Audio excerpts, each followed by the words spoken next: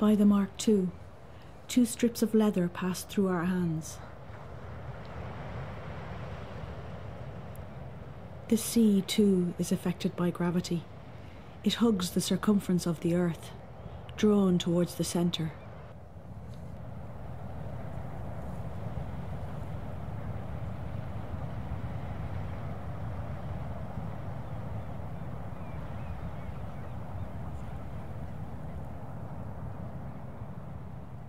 By the Mark III, three strips of leather pass through our hands. It doesn't fall off the earth, splashing away out into the stratosphere.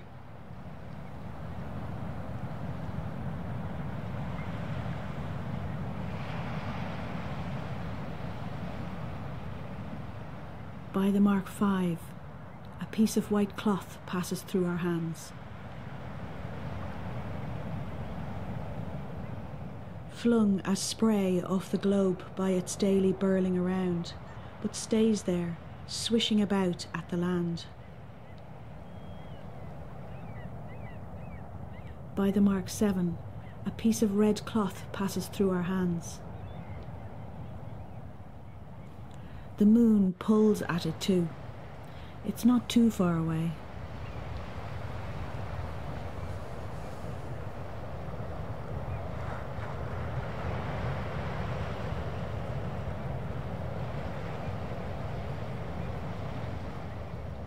By the Mark 10, a piece of leather with a hole passes through our hands. The moon's pull is called gravity too, but it isn't strong enough to pull the water right out to it.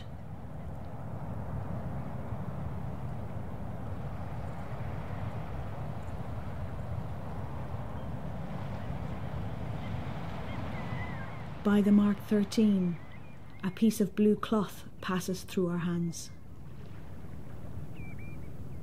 What it does is pull and tug at the lumps of water on the turning earth, so that first it's going one way, then another, dashing against the land on one side, then on the other.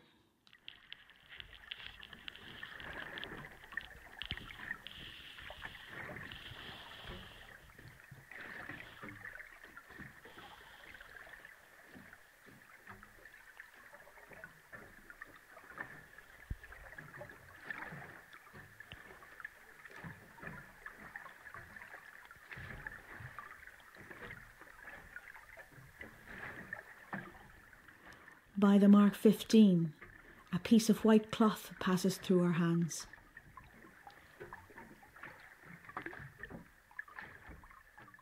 Isolated bits of land get in the way, and the sea, in its mad rush to get to the moon, where, of course, it will never get, goes tearing around those islands, first in one direction and then back again. By the Mark 17, a piece of red cloth passes through our hands.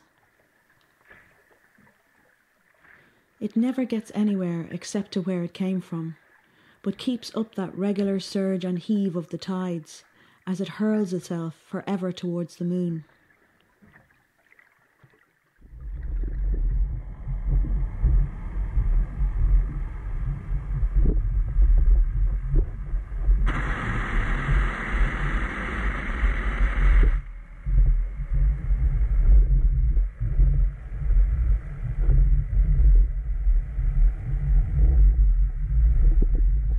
By the Mark 20, a string with two knots passes through our hands.